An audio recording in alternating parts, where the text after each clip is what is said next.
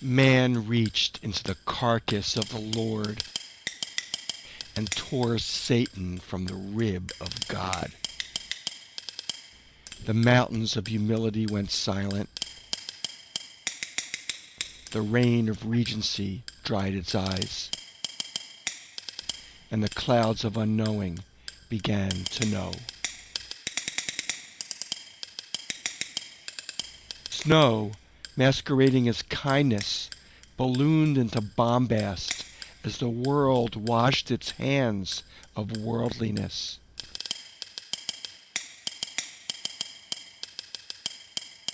Then, indifference, stiff as a wombat penis, stirred and woke from the dream of cascading penury.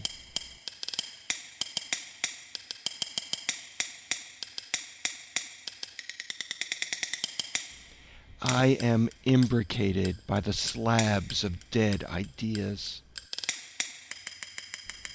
I am teased by vaults of no gold.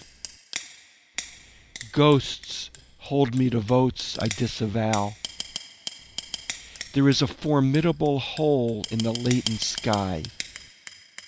It takes all my strength not to worship it.